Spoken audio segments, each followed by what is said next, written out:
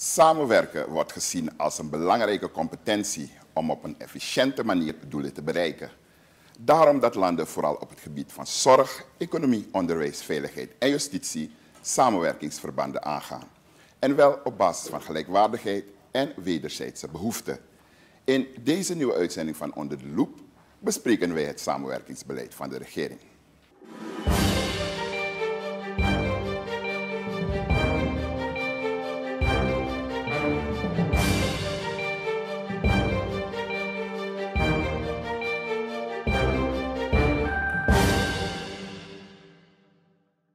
En goedenavond kijkers en welkom bij Onder de Loep.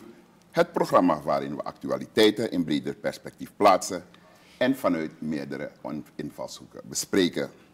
In deze aflevering praten we over het samenwerkingsbeleid van de regering en wat het moet opleveren voor ons land. Onze gastcolumnist voor vandaag is Maggie Smeets. Na de week stel ik mijn gast aan u voor.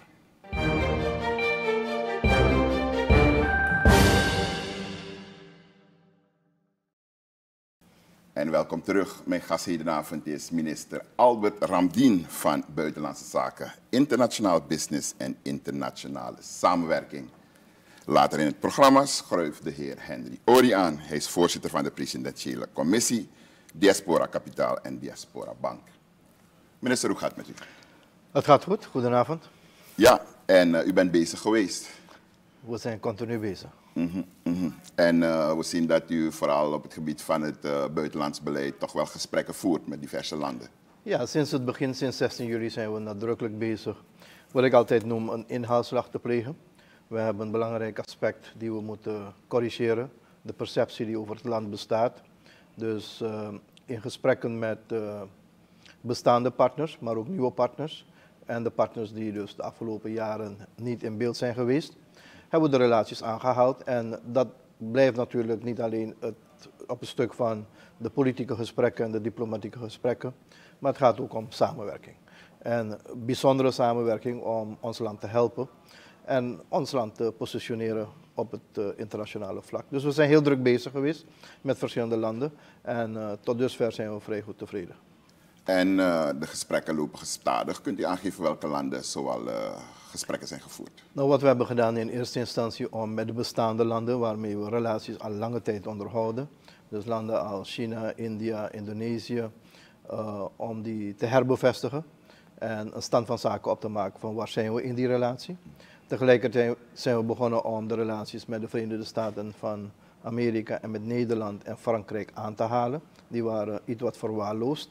Um, we zijn weer on speaking terms en de relatie wordt intensiever. Daarnaast hebben we natuurlijk veel aandacht besteed aan de buurlanden, de grenslanden, Guyana, Frans-Guyana en Brazilië. Dat is de focus op dit moment op deze 7, 8 landen.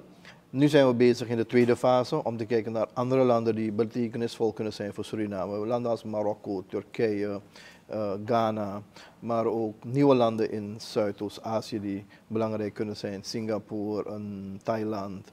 Dus uh, we zijn aan het uitbreiden. We willen op de wereldmap zijn uh, de wereldkaart zijn. Ik moet zeggen dat het beleid erop gericht is dat we niet alleen afhankelijk zijn van één land ja. of één regio. We willen op alle continenten van de wereld vrienden hebben. En vrienden hebben is mooi, maar heeft het een voordeel voor Suriname? Het andere uitgangspunt van het buitenlands beleid is dat wat we ook doen, uiteindelijk voordelen voor Suriname moet opleveren. Dus Zoals? nou, het, het, kan verschillende zaken zijn. Het kan politieke voordelen zijn, want we hebben natuurlijk een rol in die internationale gemeenschap, hoe marginaal dan ook. Maar ook in CARICOM-verband hebben we een rol te vervullen. Dus het kan politiek zijn, maar zeker met landen als de Verenigde Staten en ook met Nederland en Frankrijk praten we over technische samenwerking, technische bijstand. Um, daar zijn afspraken over gemaakt. Dus nu gaat het in de volgende fase van het uitwerken van die uh, afspraken. Met Nederland loopt het goed. Vanaf 1 maart beginnen we nadrukkelijk met specifieke samenwerking op een stuk van landbouw, op een stuk van veiligheid, op een stuk van defensie, op een stuk van de rechtelijke macht, uh, onderwijs. Ik kan zo doorgaan. En uh, dat is dan de tweede fase, echt die technische bijstand. Maar wij hopen dat we deze landen, de goede relatie met deze landen, ook gebruiken als een springplank naar het bedrijfsleven. Oké, okay. en met Nederland is er altijd een bijzondere relatie. Nu weten we ook dat in de Nederlandse Tweede Kamer toch wel door parlementariërs heel wat indringende vragen zijn gesteld over de relatie met Suriname. Uh, laatst een uh, parlementariër, Tweede Kamerlid, heeft toch wel een aantal vragen gesteld over de relatie, het verband VAP met uh, ABOP. En hoe kijkt u er tegenaan?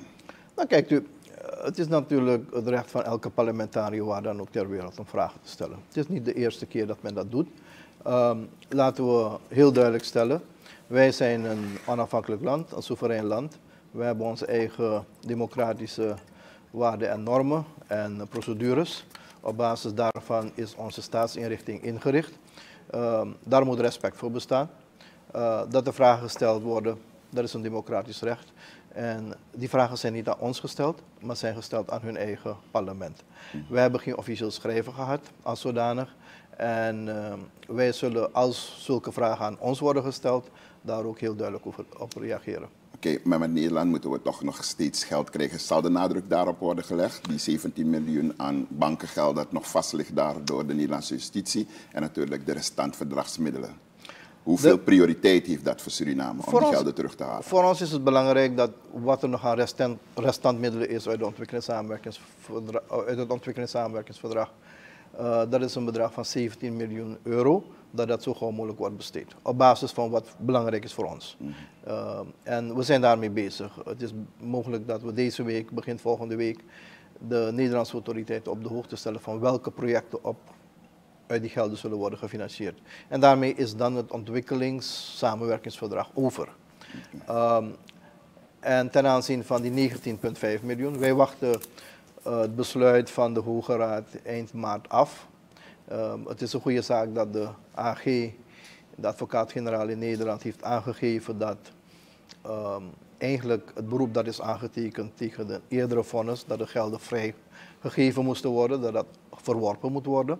Dat is natuurlijk niet ons besluit en we willen ons niet inmengen in een justitieel proces in Nederland. Maar we kijken uit naar het besluit en wanneer dat besluit is genomen en het is positief, dan hopen we dat de 19,5 miljoen euro ook zo snel mogelijk terugkomt. Maar we zien ook dat Nederland altijd de stootjes strak in handen heeft voor wat betreft besteding van verdragsmiddelen. In hoeverre is, uh, heeft Suriname een stem in deze, bij de besteding van de, de stem is heel duidelijk. Wij bepalen wat met het geld gebeurt. En hoe overtuigen we Nederland daarvan? Uh, dus... Als we kijken naar het verleden, hoe ze zich altijd hebben opgesteld. Ja, nee, ik denk dat het... Kijk, er zijn procedures en we moeten daaraan houden. Het is, het is geld dat beschikbaar wordt gesteld. En uh, er zijn procedures waaraan je moet voldoen. Uh, in dit geval zijn er duidelijke afspraken gemaakt tussen mij en minister Kaag van ontwikkelingssamenwerking, dat Suriname aangeeft de besteding ervan. En uh, daar is op zichzelf geen problemen mee. We denken aan een aantal projecten die nog uitgevoerd moeten worden. Allemaal projecten die belangrijk zijn voor het Surinaamse volk. Wederom het Surinaams belang. Het gaat om het productiefonds, het gaat om beurzen, het gaat om het watervoorzieningproject in Kommerwijnen. En dan uh, ook de afbouw van het politiehoofdkantoor. Dat zijn zaken die belangrijk zijn voor ons. En die hebben we inmiddels informeel al doorgegeven, dus ik zie daar geen problemen mee. En de regering is nu demissionair. Uh, is dat een sta in de weg voorlopig voor het... Uh... Ja, politiek zijn ze demissionair. Ik denk dat fundamentele afspraken natuurlijk niet gemaakt kunnen worden, maar dit zijn afspraken die van, voor, van uh, eerder zijn gemaakt. Ik verwacht geen problemen hiermee. Oké, okay, en reis van de president gaat gewoon normaal door? Um, deze een, maand? Nee, nee, nee, nee dit, absoluut niet deze maand. Kijk nu, als een president op reis gaat, moet er substantieel iets goed zijn te bespreken. Dat is er wel, maar de omstandigheden moeten ook daarnaar zijn.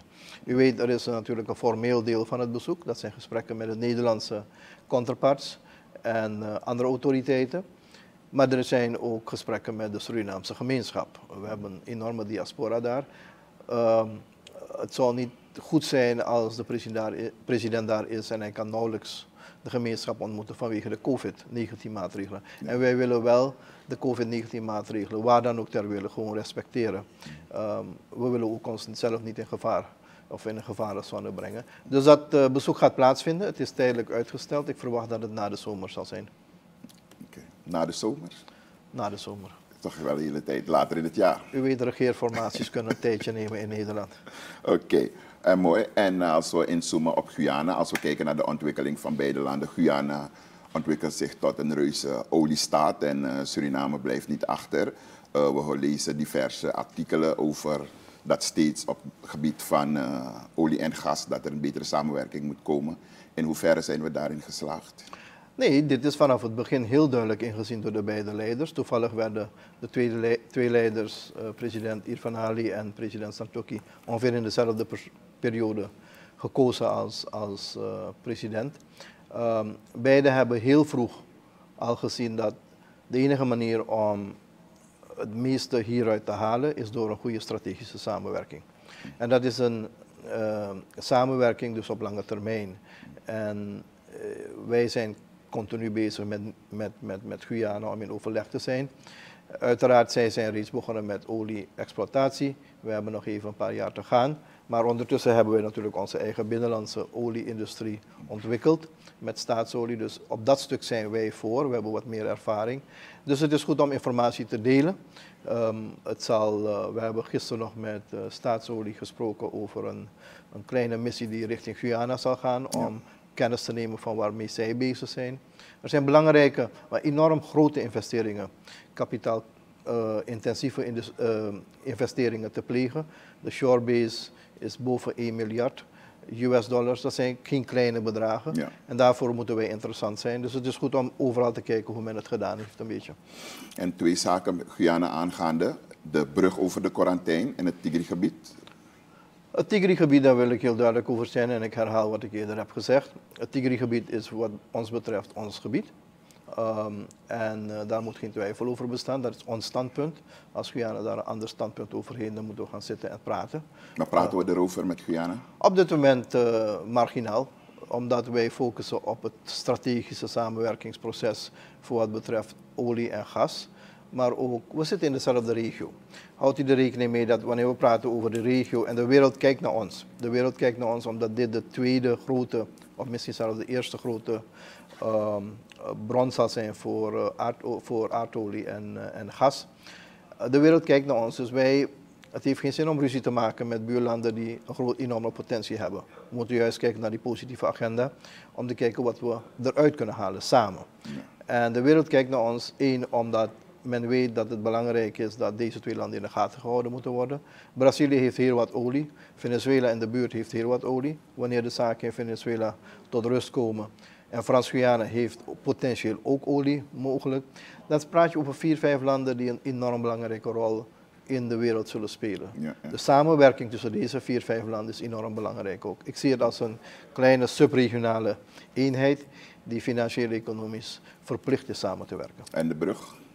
En de brug, uh, het, is een, uh, het is een noodzakelijke uh, ontwikkeling om vaste oeververbindingen te creëren tussen de landen in Noordoost uh, Zuid-Amerika, dus ook met, met Frans-Guyana. Het bevordert handel, het bevordert personenverkeer en het creëert een nauwere band tussen de beide landen. De brug komt er, de voorbereidingen zijn getroffen en op dat stuk zijn de beide ministers van Openbare Werken in Guyana en Suriname nou met elkaar in contact. Okay, en het belangrijkste geld, hoe financieren we deze brug? Ehm, in dit geval zijn er zoveel aanbiedingen voor wat betreft de bouw van de brug, aanbiedingen voor betreft financiering, design, operations, dus management ervan, uh, dat we even serieus en goed moeten gaan kijken van met welke bedrijven en landen gaan Lokaal of internationaal? Uh, het is een combinatie. Mm. En u wilt geen namen noemen nog? Nee, omdat u heeft gezien, Frankrijk heeft interesse getoond om ook die brug te bouwen. We hebben ook China, verschillende Chinese bedrijven. We hebben bedrijven in Amerika, we hebben bedrijven in Europa. Heel veel interesse. Financiën zal geen probleem zijn. Het gaat erom wel om de juiste keuze te maken. En dit heeft niet alleen te maken met, met de bouw van de brug, maar met alle andere grote projecten. We moeten de juiste keuzes maken. Zoals ik eerder zei, het heeft geen zin om als land afhankelijk te zijn van één regio. Mhm.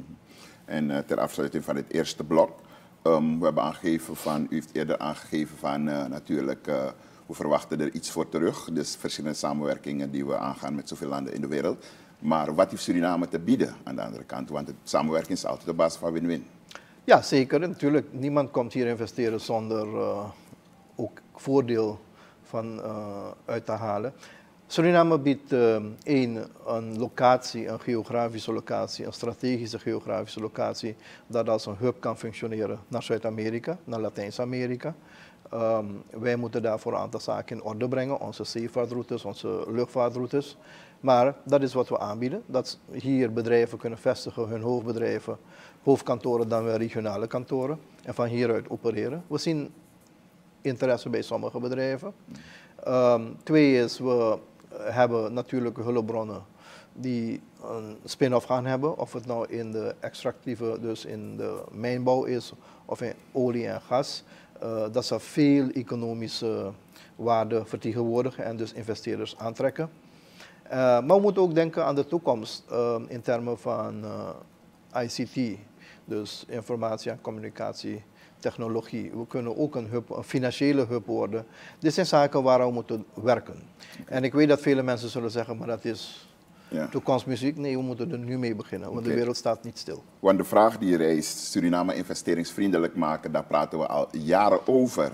Maar uh, we hebben gezien de afgelopen 10, 15 jaar dat het nauwelijks gebeurt. Maar hoeft nog niet uh, in te gaan, we komen er straks op terug. Akkoord. We gaan naar Maggie Smeets, onze gastcolumnist van vandaag. Wat heb je voor ons meegebracht, me kom, kom, kommetje? Wat heb je voor ons meegebracht, me kommetje? We praten over relaties met het buitenland, toch? Die brengen toch altijd iets? Of gaan we dat nu anders doen? Want ik zie dat uw ministerie tegenwoordig heet ministerie van Buitenlandse Zaken en International Business en internationale samenwerking. Is een hele mond vol. Op uw website zag ik dat het doel nog wel steeds hetzelfde is. Van Suriname een beter land maken. Mooi. Maar wat is beter? Meer malls, meer merkwinkels, meer fastfood. Economie draaiend op olie en goud. Gezonde burgers, gelukkige burgers. Voor driekwart zelf voorzien in je voedsel. Als wij niet zelf weten waar we naartoe willen, hoe weten we dan wie ons op weg kan helpen? Wat voor vrienden zoeken we eigenlijk? Mijn vader zei altijd, je moet netwerken met mensen waar je iets aan hebt. Je moet lid worden van een serviceclub. Serviceclubs, dat zijn rijke mensen die aan goede doelen doen. Het is internationaal en je legt dan een soort eet af waarbij je belooft dat je altijd voor je broeders en zusters gaat zorgen. Veel reisjes, veel drank, veel feestjes. Wij uh, hebben de kerstinkopen in Miami gedaan. Wij zijn heel content met ons uh, nieuwe zwembad. And then he surprised me with the newest model Land Rover.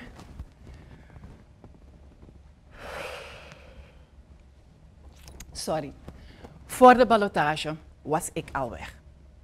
De vraag is, willen we als Suriname lid worden van een club die de ballotage bepaalt? Want het zijn van die clubs waar um, zowel aan goede doelen doen, maar niet echt iets willen veranderen aan die arm-rijk verhoudingen. Of willen we gewoon geld? Zoeken we gewoon naar die mattie die altijd betaalt, ons wegwuift als we voor de vorm onze eigen lege portemonnee tevoorschijn halen.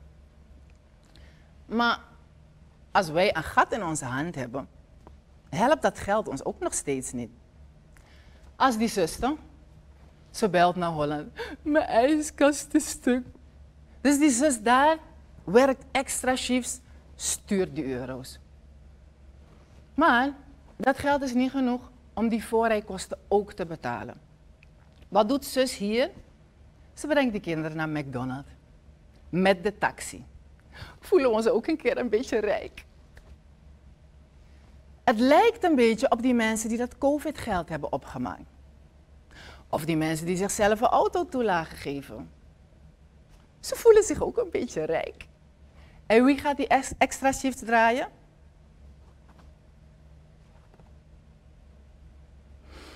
Ja. En dan kan je ook nog foute vrienden vinden. U weet toch, iemand die een jackpot wint, de volgende dag stoepvol. Iemand wil helpen beleggen, iemand wil hem een villa verkopen. Volgend jaar helemaal bankroet. Belegger was een oplichter, villa kon hij niet onderhouden. Als land gaat het een beetje hetzelfde als je de jackpot vindt. Iedereen wil je goud komen graven, je olie komen pompen. Maar wat houden wij er dan over? Behalve ontbossing en vervuiling. Moeten we niet vrienden zoeken die aan diezelfde kant van de tafel zitten als wij?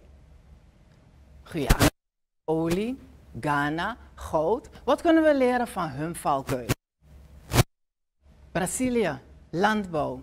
Belize, meertalig onderwijs. Dominica, hurricaneproof huizenbouw. Laten we leren van elkaar. Als u met uw vrienden toont, zeg ik u wie u bent. En dankjewel Maggie. En Maggie, laat je toch wel even nadenken. Eigenlijk wat we aan het begin zo'n beetje over hebben gesproken. En uh, wat zegt u? Nou kijk, wat, wat mevrouw Smeijs heeft gezegd gaat veel verder dan buitenlands beleid. Het gaat over hoe je richt je samenleving in. En wat is de rol van elk individu in die samenleving. Dus het gaat dan om goed burgerschap. Het gaat dan om een stukje eigen verantwoordelijkheid. Ik heb altijd gezegd, als u gaat wachten, of moet ik het positiever zeggen, want er is veel negativiteit in dit land, helaas. Um, ontwikkeling, niet alleen de regering is daar verantwoordelijk voor. We zijn allemaal verantwoordelijk daarvoor. Dus ook het bedrijfsleven, ook individuen, ook maatschappelijke organisaties. We zijn gezamenlijk verantwoordelijk voor een stukje ontwikkeling. Er zijn tijden geweest waar men heeft gewacht op de overheid om dingen gedaan te krijgen, te regelen. Dat werkt niet meer al verschillende decennia's. Dus wat ik, wat ik meeneem, heel duidelijk, en dat is een visie die we lange tijd hebben, is in ieder geval vanuit buitenlandse zaken. En elk ministerie heeft zo zijn verantwoordelijkheden. Maar belangrijk is dat die samenleving verantwoordelijkheden heeft. En een van de belangrijkste zaken waar ik vind dat de samenleving een verantwoordelijkheid heeft, is zichzelf niet te beschamen. Want op dit moment is waarschijnlijk het grootste probleem voor de ontwikkeling, en dan weet ik dat dit veel discussie zal brengen, maar misschien is het goed, zijn onszelf. Wij zijn het zelf. Met al die negativiteit, al die kritiek, gewoon die vooroordelen, uh, dat is niet goed voor de samenleving. Dat, die spiegel moet je voor jezelf houden. En zeggen van wat willen we nou precies? Helemaal terecht. Wat willen we bereiken? Nou, wat wij vanuit Buitenlandse Zaken willen bereiken is één, een samenleving dat gerespecteerd wordt. Waar de waarden en normen zijn. Waar democratie en rechtsstaat beleefd wordt. Niet alleen in, in termen van een wetgeving en een grondwet, maar daadwerkelijk. Uh, waar we praten over een stukje equal opportunity, gelijkwaardige kansen voor een ieder. Ja. Maar dat is een stukje eigen verantwoordelijkheid. Ja. Als je die dingen bij elkaar kan brengen, en ik geloof dat deze regering dat echt voor staat, en daarom heb ik eerder heel duidelijk gezegd, laten we deze kans weer niet laten falen. Laten we deze kans te baat nemen om echt die ontwikkeling te brengen. Want je kan niet, er is bijna geen ideale situatie als niet iedereen samenwerkt. Okay. En daar moeten we het over hebben. En inmiddels is ook aangeschoven Henry Ori. Hij is voorzitter van de presidentiële commissie Diaspora Kapitaal en Diaspora Bank. En voor we naar, uh, eigenlijk naartoe gaan waarvoor u bent uitgenodigd, uw reactie op de column van Maggie.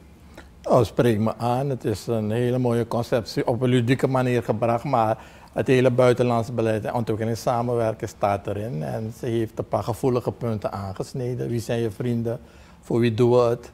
En ik denk dat we inderdaad werk moeten maken van goed bestuur, armoedebestrijding, het ontwikkelen van ondernemerschap. En dan komt Suriname echt waar, maar we moeten inderdaad, wat de minister zegt, eh, de handen ineens slaan, samenwerken. Eh, een beetje positiever kijken naar onze toekomst en onze kinderen. En dan komt het wel goed met Suriname.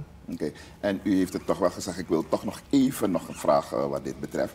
Uh, aan de andere kant zien we, uh, u zegt minister Amdien van ja, er is veel negativiteit. Mensen moeten toch gewoon moeten echt de spiegel voorhouden. Maar soms, als we kijken, soms zaken die de regering toch doet, ja, ik zal niet zeggen of ze goed zijn of niet goed, maar om concreet te zijn, dat stukje van die, die toelages, autotoelagen, terwijl je aan de ene kant zegt van, hé, hey, we gaan de buikriemen strakker aan hebben, meer belasting en dergelijke, want we moeten uit deze situatie komen. Dan komt het toch wel op een slecht moment. En dat geeft toch wel een slecht teken naar de bevolking toe. Nee, dat begrijp ik. En dat is ook iets dat uh, meegenomen is in de finale beoordeling.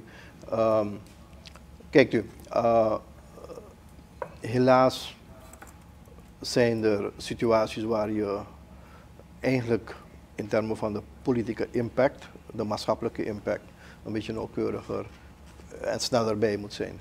Uh, de, de, hele kwestie van vergoedingen in de samenlevingen zijn niet beperkt tot autotoelagen. Uh, maar ik, ik, ik kan me volledig indenken dat het verkeerd overkomt wanneer je aan de ene kant vraagt om een opoffering en aan de andere kant komt zo'n regeling. Met die regeling op zichzelf misschien niks aan de hand, ja. maar de tijd waarin we dit doen is verkeerd. En vandaar dat het besluit toch genomen is om dat, uh, om dat uh, in te trekken. Dus die timing was toch verkeerd. Oké. Okay. En we gaan naar meneer Ori. En uh, zoals eerder aangegeven, u bent voorzitter van de presidentiële commissie Diaspora Kapitaal en Diaspora Bank. Wat heeft die commissie gedaan en wat zijn de resultaten? Nou, oorspronkelijk heeft de president gevraagd om een verkenning te doen op welke manier goedkope kapitaal vanuit de diaspora uh, hoe zou kunnen komen naar Suriname. Uh, we hebben een verkenning gedaan en we weten dat diaspora kapitaal eigenlijk, zoals je het zou willen noemen, al heel lang in Suriname stroomt. Uh, op een gestructureerde, minder gestructureerde manier. Wat wij hebben gedaan is zichtbaar maken voor de president op welke wijze op korte termijn een aantal zaken kunnen gebeuren. We hebben drie instrumenten in kaart gebracht. Eerst is obligaties, waarbij men zegt, goed, we willen graag investeren. Als je obligaties uitschrijft, met name onze tros staatsolie, staat hoog op de agenda bij heel veel mensen, ook in de andere landen, met name ook Nederland. Het tweede is uh, fondsvorming. En ze hebben specifiek gezegd dat er interesse is voor investeringen. Ze willen graag huizen bouwen, de landbouw, onderwijs. Er zijn een paar dingen zoals de luchtvaart. Men ziet in Suriname toch wel een, uh, goede investeringen in uh, duurzame aspecten. Daar wil men graag aan werken. En als laatste is die verkenning heeft plaatsgevonden van een bank, een diaspora bank. Wij zeggen dat is niet uh, op korte termijn noodzakelijk, maar we, we, moeten een paar stappen nemen omdat het te maken heeft met een aantal processen die moeten plaatsvinden. Dat heeft te maken met natuurlijk, Suriname moet voldoen aan een aantal internationale eisen van de bankaire wereld. Ja. Uh, we hebben nog veel te doen op dat harmonisatie van wetten.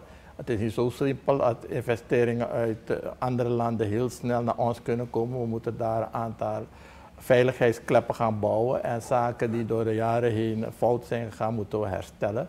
Daar is een stukje werk. Wij zeggen tegen de president, we hebben die wetgevingsproducten en aspecten voor hem keurig opgezomd en gezegd, kijk, als wij een plan trekken en die aspecten snel oppakken, dat betekent dat, dat we op korte termijn dat kunnen doen. Maar wij zeggen, u heeft winstmomenten dat met obligaties en uh, fondsvorming kunnen we al heel wat. En daar kunnen we langzamer gestaag werken. En de regering zit nog pas zes maanden. We hebben tijd nodig. Er zijn zeker wat rapporten ook uh, vrijgekomen over doing business in Suriname. Maar ook het rapport van mevrouw Van Dijk Silos over natuurlijk die risico's, National Risk Assessment. Ja, ja. En daar staan hele goede, uh, concrete uh, beleidsmaatregelen die we moeten nemen. Okay, dus wij, concreet, wat ja. zijn de resultaten uit... Uh... Nou, die resultaten zeiden, het is een rapport geworden met, doet, werkt u aan deze drie aspecten in een tijdbestek van 1 tot 5 jaar. Uh, en uh, we kunnen snel jaar 1 uh, um, bijvoorbeeld de obligaties en in elk geval de fondsen op gang brengen. En tegelijkertijd zullen we hele zware communicatie, wat de minister ook heeft benadrukt, het heeft om de branding of Suriname, positief nieuws. En in elk geval zorgen dat hier een regering aan de macht is die zaken serieus oppakt. En ook een bescherming biedt voor investeerders, want investeerders willen hun geld stoppen in iets waar ze zekerheid hebben precies, dat precies. het beschermd is. En die, aan die zaken moeten we gaan werken. We hebben een timeline gezet en we hebben concrete aanbevelingen gedaan om in een implementatieplan zaken op te pakken. Oké, okay. en daarom uh, voor, die, voor we naar onze gastcolumnist gingen, toen ik die vraag stelde van wat heeft Suriname concreet gedaan om Suriname investeringsvriendelijk te maken. Want we zien dat het afgelopen jaren toch niet is gebeurd. Die investeerders komen maar niet, terwijl we toch beleid op beleid erover praten. Oké, laat me een paar concrete dingen aangeven. Op dit moment zijn er meer dan 100 aanbiedingen van investeerders om in verschillende sectoren te willen investeren. We hebben het instrumentarium nog niet 100%. Bestaande instrumentarium uh, als investuur heeft niet gefunctioneerd, heeft niet gewerkt. Dus dat zal worden opgedoekt. Heel concreet. Dus één, er is interesse in verschillende. Ik praat niet over financiers. Ik praat over bedrijven en individuen die bereid zijn hun geld hier te brengen in een bedrijf te investeren, in een sector te investeren, samen met het Surinaamse bedrijfsleven. Ja. Dat is één. Twee is, het instrumentarium wordt nu door een groep van personen, een Business Advisory Board op buitenlandse zaken, wordt dat uh, gemaakt. Dus een investeringswet, een voorstel voor een nieuwe investeringswet. Een tweetal organen, uh, Export Suriname, die zal werken aan marktvergroting, marktverruiming voor Surinaamse producten. maar ook een stukje promotie zal doen van het Surinaamse product en ook van Suriname. En daarnaast FDI, Foreign Direct Investment, dat is aantrekken van buitenlandse investeerders. En dat wordt nu dus allemaal voorbereid door een team van mensen. Uh, die twee organisaties zullen in één organisatie opgericht worden binnenkort. En dan zal dat operationeel worden, waarbij er specifieke uh, regels zijn ontworpen op welke wijze ze beoordeeld gaan worden. Kijk, veel investeerders komen hier en raken gefrustreerd omdat één, men naar zoveel instanties moet. Ja, dus dit wordt een one-stop window, Voor, window voor investeerders. Twee is, ze krijgen uh, onplezierige aanbiedingen. Corruptie was enorm veel. Ja. Dus als men niet 10% bereid was uh, ergens te geven, dan mocht je het vergeten. Men kijkt niet eens naar hoe waardevol zo'n project is. Ja. En dan is het al weg. Deze investeerders praten in het buitenland met andere collega's. Dus ze creëren een negatieve reputatie.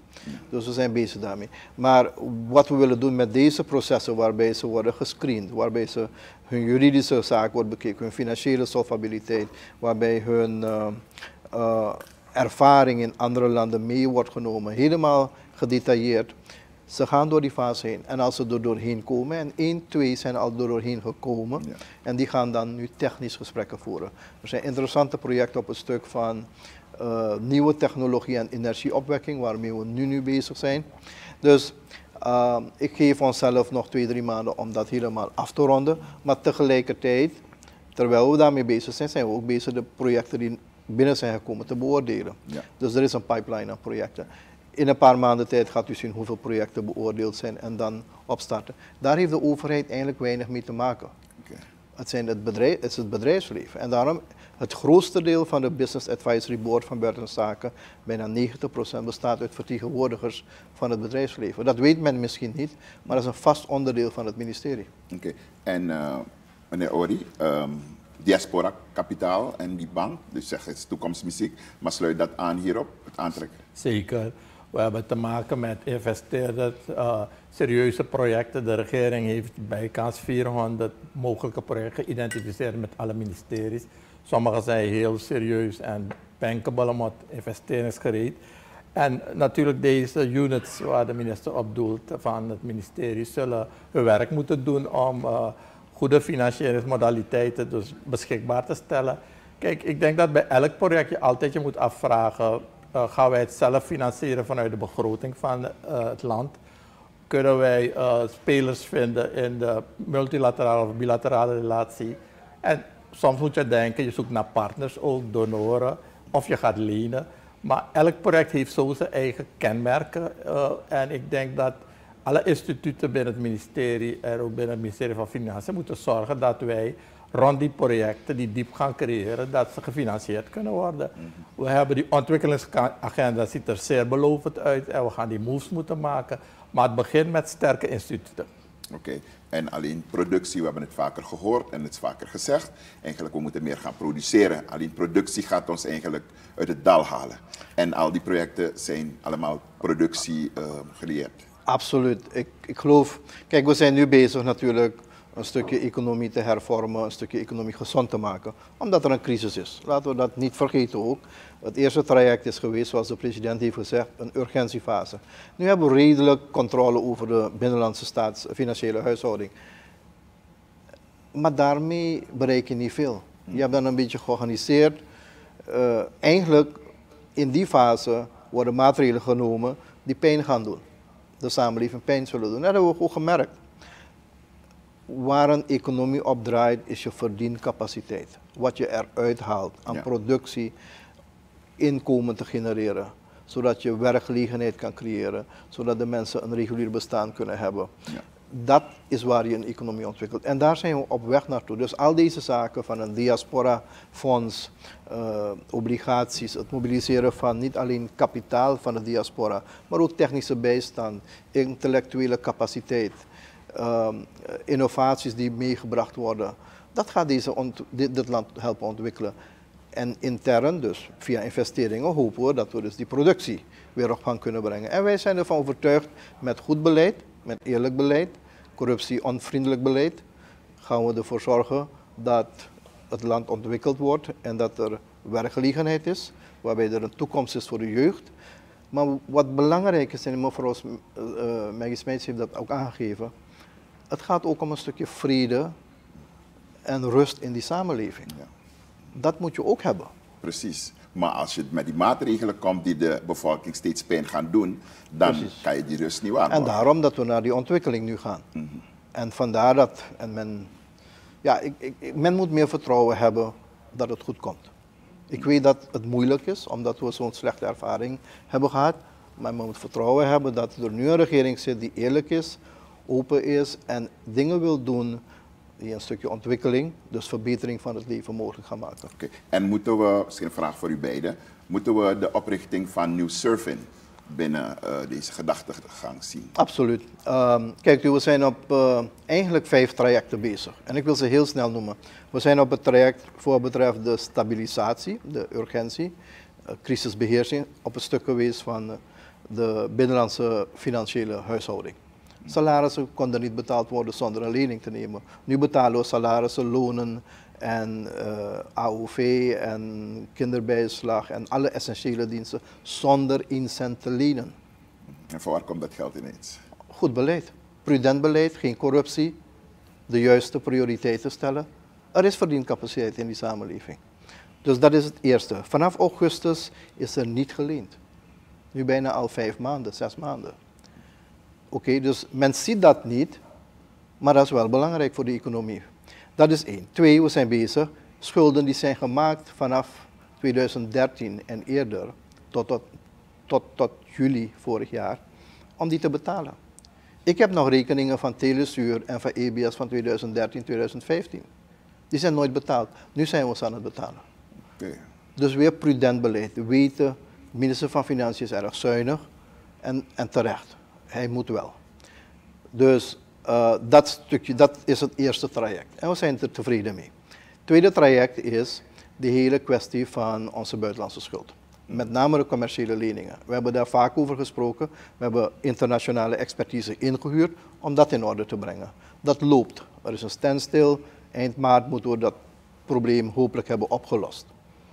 Die leningen gaan we moeten betalen, want ze zijn door een staat aangegaan maar we gaan ze onder betere condities hopelijk en later aflossen.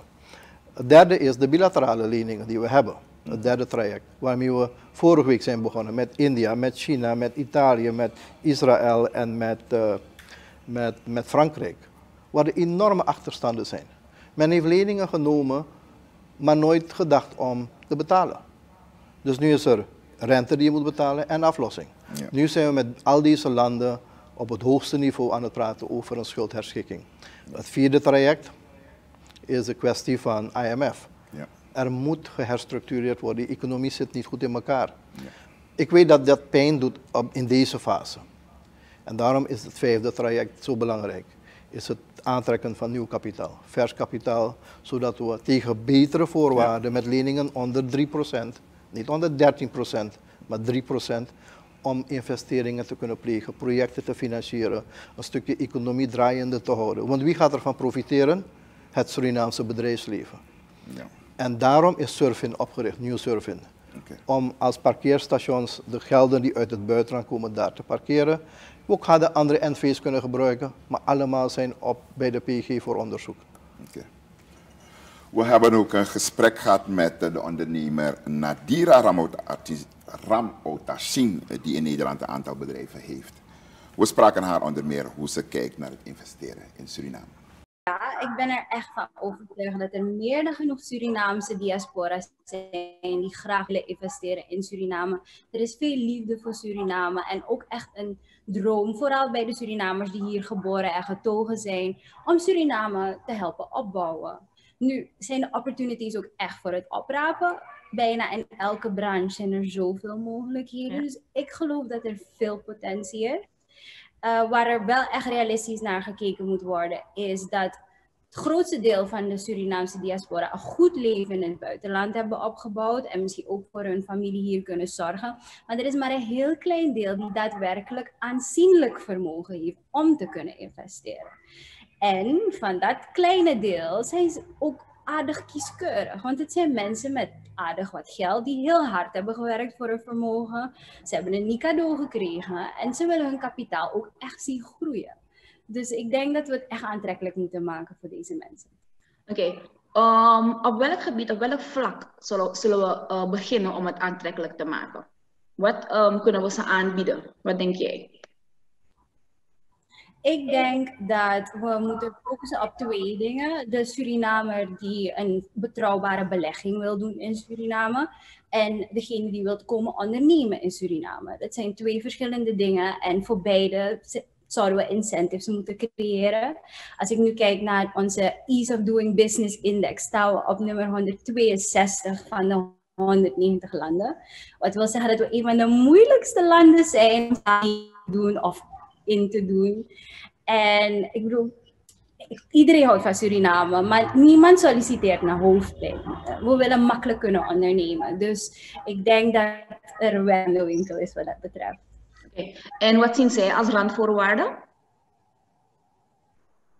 Ik denk dat we moeten kijken naar de incentives, wat ik net al zei. Dus ik denk aan belastingvoordelen. Als ik nu kijk naar wat ik betaal voor elke euro winst in Nederland, is dat de helft van wat ik hier zou moeten betalen. Wat natuurlijk totaal niet aantrekkelijk is voor mij. Ik ben geen dief van mijn eigen portemonnee en geen van de andere diaspora zijn dat, geloof me. Dus ik denk dat er genoeg voordelen zijn die we ze kunnen bieden op, op het gebied van belasting. Denk ook aan tax-free zones, tax-free industries of, of tax exemptions voor start-ups. Maak het interessant. En dan denk ik ook aan rentevoordelen. Het argument dat gebruikt wordt is, jullie krijgen toch alleen maar negatieve rentes op de bank in Nederland. Kom je geld hier investeren. Maar dat is niet echt een correcte aanname. Als je kijkt naar het feit dat we al jaren lage, historisch lage rentes hebben in Europa. En die diaspora zijn niet, ze staan nog niet in de rij. Dus het gaat niet automatisch. We gaan echt, we gaan iets harder ons best moeten doen. En als je ook gewoon denkt aan dat je voor rendement van 4 tot 5 procent vrij risicoloos kan investeren in bijvoorbeeld een vastgoedfonds of beleggen in een vastgoedfonds in Nederland. Waarom zou ik dan voor hetzelfde rendement dat hier komen doen met zoveel meer risico? Dus dat zijn de vragen die echt gesteld moeten worden. En als we die vragen kunnen stellen, dan kunnen we ook met mooie oplossingen komen voor deze mensen. Ik wil graag ook nog even het ondernemen aanhalen met praktische voorbeelden. Stel dat ik hier in Suriname een onderneming zou willen starten. Dan duurt het alleen al twee weken bij KKF om een naam goed te keuren. Dan heb ik dus nog niet eens mijn bedrijf opgericht. Dan moet ik via de, visie, dat moet daar ook weer goedgekeurd worden, kost ook weer onnodig tijd. Moet ik een bankrekening openen, kost ook aardig wat tijd. Dus al die processen zouden gewoon echt versneld kunnen worden om het aantrekkelijk te maken om hier te ondernemen. En dan wil ik nog iets verder gaan om te zeggen dat als ik dan eindelijk mijn bankrekening heb en mijn werkkapitaal gestort heb en ik moet een tractor kopen, 20.000 dollar cash, ik niet aan mijn geld komen. Dat is onze huidige realiteit. Ik heb het geld, maar ik kan er niet aan komen. En dan houdt het ook direct op. Dus hoe graag we ook niet willen, hoeveel we ook niet van Suriname houden, belangrijk is om in de mindset te gaan van die Surinaamse ondernemer in het buitenland, die hard heeft gewerkt voor zijn geld en die zegt, ik, ik, wil, ik wil iets doen, ik wil het in Suriname doen, maar ik wil mijn kapitaal ook zien groeien. En ik denk dat het mogelijk is. Ik denk dat de heren in de studio heel goed weten wat er speelt. En ik denk dat als we vanaf vandaag beginnen, voor een paar jaar wel diaspora kunnen aantrekken met de incentives. En dat was uh, Priscilla Granoogs in gesprek met uh, Nadira Ramotashing. En zij is ondernemer in, in Nederland. Begin met meneer Ori. En ik denk dat u dit uh, geluid ook al eerder heeft gehoord. Ja, het is bekende muziek en terecht door een praktijkvrouw aan het licht gebracht. We herkennen dat. En ik denk dat al de punten die aangezegd zijn, zijn punten die serieus door de regering opgepakt moeten worden. We gaan integraler moeten werken, economische zaken, we hebben financiën, we hebben de belastingdienst. Maar ik vind ook dat ze terecht zeggen, er moet een pakket van maatregelen komen die ondernemersvriendelijk moet klinken. Het moet gaan gebeuren. En we hebben dat veel beloofd. En ik denk dat dit soort zaken erg prioriteit moet kijken. Ik wil wel één ding zeggen, dat de focus moet niet zijn, en dat proef ik een beetje soms in de media, dat uh, we op, uit zijn op kapitaal van de diaspora. Het is één aspect, maar ook als de minister zegt, kennis, deskundigheid, collaboratie, partnerschappen. Dat zijn veel meer dingen als triggers van innovatie in het land. We hebben sociale innovatie nu, hoe we tegen dingen aankijken, hoe we de maatschappij gaan inrichten. Maar ook het ondernemerschap. Daar zitten dus ook met hun rijke kennis en uitwisseling van zaken kunnen we ondernemers lokaal in Suriname supporten met partnerschappen daar. Daar moet ook het accent op gelegd worden, alsjeblieft. Oké, minister? Nou, twee dingen. Uh, tuurlijk, dit is, uh, dit is precies waar we moeten werken. Ease of doing business. We zijn op een hele slechte locatie op die lijst. Um, uh, langzaam moeten we eraan werken. Het gaat tijd nemen, laten we realistisch blijven ook. Um, maar het, het, moet gebeuren, anders ben je niet aantrekkelijk. Ja, precies. dus sowieso. maar je ziet dat verschillende elementen in beeld zijn en dus daaraan begonnen wordt. Sommige dingen nemen wat meer tijd. Die hebben met wetten te maken of met regelgeving die ook uit het buitenland komt overigens hoor. Het is niet alleen van hier. Ja. Maar er zijn sommige dingen die je heel makkelijk zelf kunt beginnen te doen.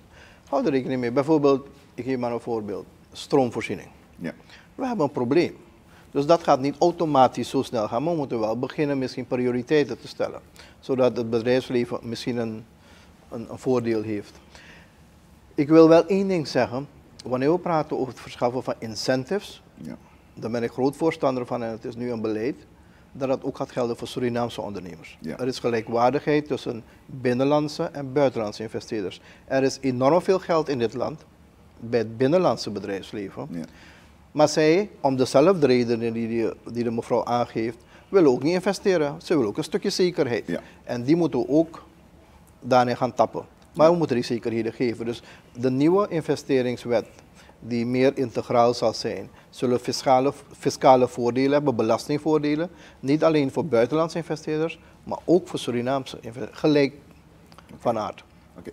En uh, even terugkomen op uh, New Surfing, meneer Ori. Er is uh, met name vanuit diverse ja, politieke maatschappelijke groepen heel veel kritiek geuit op de oprichting van deze nieuwe NV.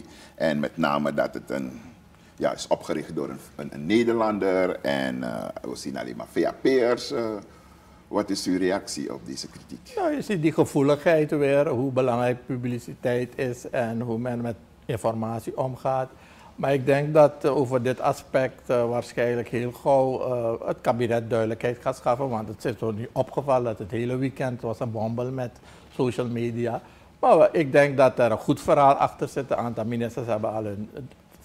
Dat het verduidelijk moet wel, een stukje publieksvoorlichting waarvoor het is. Onze minister heeft het vandaag ook weer toegelicht. het maakt deel uit van dat grote pakket ik zie onze president, het kabinet, als hoofdkok met al die gerechten die we klaarmaken. En dit zijn een van de instrumenten die men inzet. We moeten het beter uitleggen. En het is weer, we zijn geen glazen kast. Uh, je ziet de social media, is, het land wordt bestuurd door 600.000 mensen ondertussen. En die kritiek moeten we een plek geven. En ik denk dat het kabinet komende dagen daar die duidelijkheid gaat geven. Okay. Minister, gefundeerde kritiek of kritiek van, kan je zeggen van, ja, we gaan eraan voorbij? Nou kijk, ik denk dat het goed is als uh, veel informatie richting samenleving gaat, sowieso. De vraag is altijd wanneer doe je dat? Wanneer geef je die informatie? Kijk, de regering is ook voor een groot deel uh, passen en meten in termen van uh, wat ga je nu naar buiten brengen, wat ga je later naar buiten brengen. Uh, we weten dat in deze wereld van social media maar heel weinig echt geheim is. Ja. Op een of andere manier, op een of ander moment komt het naar buiten, dat weten we. Er is niks uh, verkeerds hieraan, zoals aangegeven, het is onderdeel van een regeringsbeleid. Um, ik denk niet dat men conclusies moet trekken ten aanzien van de politiek ervan. Ik vind dat eigenlijk een beetje jammer dat we al continu zo denken. Het is VAP of het is ABAP of dit. Zo werkt het niet. De president staat aan het hoofd van een regering dat een coalitie is. Um, en uh, toevallig zijn twee ministers die daarvoor verantwoordelijk zijn. Minister Chaibersing en ikzelf voor het aantrekken van buitenlands kapitaal. Dat zit in onze portfolio. We zijn daar bestuurders op dit moment. Het, is, het is wat dat betreft tijdelijk, onbezoldigd, laat ik dat duidelijk zeggen, want dat zijn van die vragen. Maar men moet wel uh, die informatie afwachten ook een beetje. En, ja, maar, en die, die, verschaffen we, maar conclusies op voorhand trekken heeft, als men vragen stelt, akkoord. Maar conclusies uh, met een bepaalde bedoeling op voorhand trekken vind ik, vind ik niet, niet prettig en niet nodig ook. Uh, overigens is in het afgelopen weekend veel informatie daarover verschaft. En ja, en, ja sommige dingen hadden we misschien beter moeten inschatten door te zeggen van oké, okay, laten we maar aan het begin al meteen geven. De bedoeling was om duidelijk te stellen deze NV uh, bekend te maken aan de gemeenschap wanneer er inderdaad geld in zal zijn. Ja. En dat is, dat is absoluut niet. Dat is een, ja, het is nog steeds in voorbereiding. Maar kan het wel dat, uh, de naam is me even ontgaan, de persoon die het heeft opgericht, hij is president-commissaris bij de EBS, zijn naam? Uh... Hij is geen president-commissaris, hij is nog niet eens lid van oh, okay. uh, RVC van EBS. Um, meneer Wiren Adjodia is, ja.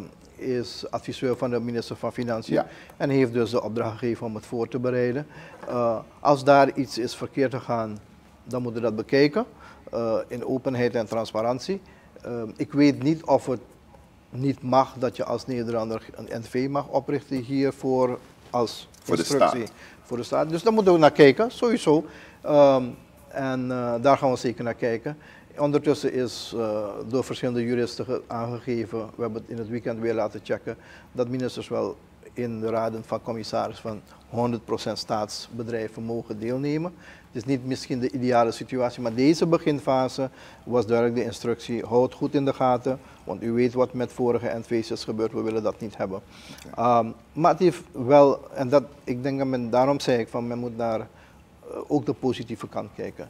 Okay. Dit is een vehikel, dit is een instrument om iets beters te bereiken voor het land. Okay. En daarna moet men kijken en er is volle transparantie voor wat betreft uh, de gang van zaken daar. Oké, okay. meneer Ori, wat gaat de presidentiële commissie nu doen? Nou, als het goed is, is mijn taak eigenlijk uh, uh, al voldaan. En wat wij nu gaan doen is zorgen dat de gedachtegoed uit het rapport uh, geïmplementeerd wordt. En daar vragen we, zijn we nu bezig een voorstel, een implementatieplan, zodat de president dat goed in de gaten kan houden. Er moeten onderzoeken worden gedaan, een heleboel moet gaan gebeuren tussen ministeries en wij gaan daar de president een advies geven om uh, de juiste, op de juiste wijze dat implementatie. Want anders blijft het bij een papieren tijger, dat kan nooit de bedoeling zijn. Precies. En het is, uh, er moet coördinatie komen met meerdere ministeries, er moeten wetten worden aangepast, er moeten uh, een aantal instrumenten dus uitgezocht worden. Waar dat ook voortdurend dat de NOB doorgelegd moet worden. Wij zien hun functie in dat geheel toch wel dat het een nieuwe plek gaan krijgen. We moeten met de bestaande banken gaan praten. Ook hebben we werk, dus we hebben twee structuren al in de Diaspora Instituut Suriname bij het ministerie. En we zijn nu bezig Diaspora Instituut Nederland vorm te geven vanuit Nederland. Ja. En dus dat betekent marketing, intake, maar ook al die dingen die dus uh, ook de onderneemster net heeft gezegd contact hebben met de mensen, hun gevoelens ook delen, ook leren van wat we moeten verbeteren. Communicatie wordt belangrijk. Een vertrouwenwekkend perspectief moet aangekoppeld worden. Ja. En tot slot, uh, minister. Hoe ziet het jaar uit voor ons? Zullen, zal de bevolking, zullen we iets positiefs al merken van al de plannen die we eerder in dit programma hebben besproken? Nou, ik denk dat we in de trend gaan doorgaan. Ik denk dat er al positieve dingen te merken zijn in termen van de stabiliteit die er is. Misschien niet helemaal in financieel-economisch opzicht nog, maar dat komt er in mijn ogen al voor eind van het jaar. Dus we gaan dat zien. Ehm, maar er is een zekere mate van rust in die samenleving. Dat moeten we niet voor disconteren. We moeten, ervoor, uh, we moeten dat ook wel in, in ogenschouw nemen. Nee, de komende maanden, dit, dit jaar 2021, gaat toch, toch heel druk zijn. Ehm, het is continuering van alle inspanningen om te komen tot een stukje stabiliteit en een fundament te leggen voor groei. Ik denk ook aan het COVID-19-verhaal, dat ja. een enorme impact heeft op die samenleving, sociaal-maatschappelijk, maar ook financieel-economisch.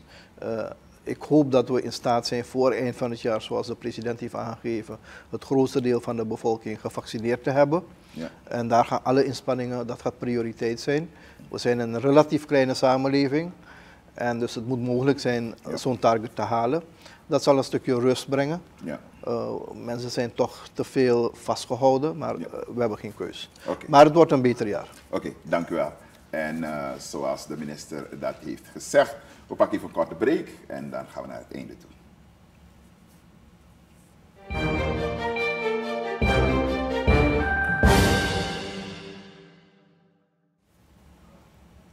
En welkom terug. En zo hebben we met uh, deze twee heren de minister van uh, Bibis, Buitenlandse Zaken, Buitenlandse Business. International Business international, en internationale samenwerking. Ja. En dat is een hele mond vol, moeten we ook nog aan wennen. En natuurlijk uh, Henry Ori, hij is voorzitter van de presidentiële commissie Diaspora Kapitaal en Diaspora Bank. En zo hebben we dat beleid even onder de loep geplaatst. En natuurlijk zijn er heel veel vragen meer. Maar uh, ik denk dat we nog meer uitzendingen nodig hebben om dit echt helemaal uh, uit te kristalliseren. Bedankt voor het feit dat u hebt willen kijken naar ook deze nieuwe aflevering van Onder de Loop. Wilt u nakijken? Dat kan nog steeds op onze Facebookpagina ATV Suriname en ons uh, kanaal op YouTube ATV Suriname.